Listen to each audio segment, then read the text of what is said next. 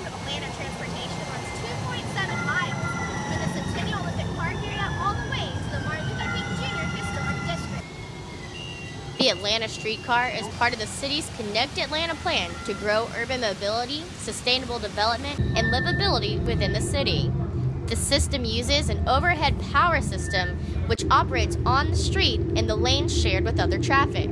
Service operates seven days a week, Monday through Thursday from 6 a.m. to 11 p.m., Fridays from 6 a.m. to 1 a.m., Saturdays from 8.30 a.m. to 1 a.m., and Sundays from 9 a.m. to 11 p.m. The Atlanta streetcar is free to ride. However, there's discussion that within the next few months to the next year, there will be a charge. Let's see what the public has to say about that. I'm here at the Peachtree Center stop with Alex and Eric.